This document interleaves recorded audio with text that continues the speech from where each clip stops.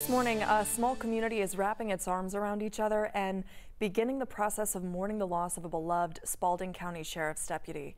11 Alive's Erica Murphy is live this morning from the GBI headquarters with a look at how Griffin is honoring the life of Sergeant Marc McIntyre. Good morning, Erica. That's right, Christy. Um, it is a loss that is being felt deep within the community of Griffin.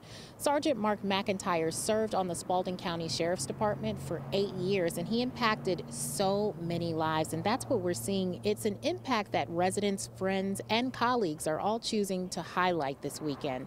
Yesterday, two prayer vigils took place at the Spalding County Sheriff's Complex. Sergeant McIntyre is being remembered as a fun loving, kind man who cared about the community that he served. It's something that both the sheriff and people who knew him are moved by.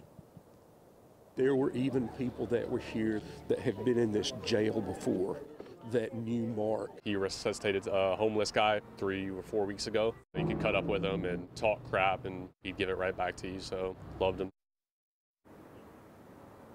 And so we talked to so many people yesterday, and everyone had great things to say about Sergeant McIntyre. I want to also uh, mention, Christy, that yesterday we went out to Griffin. Like I said, we spoke to people, and on our way back to the station, we saw that one whole side of the freeway was shut down, and that was because uh, there was a police. Um, escort of McIntyre's body here from the GBI headquarters back to Spalding County where he worked and lived.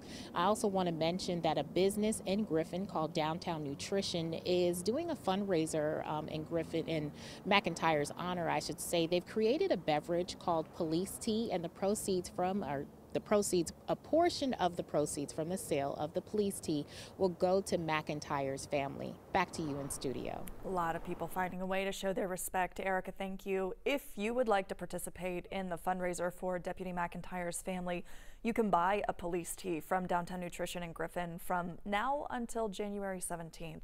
The store is located at 130 South Hill Street. For more on this case, you can follow all of the updates on air and online at 11alive.com.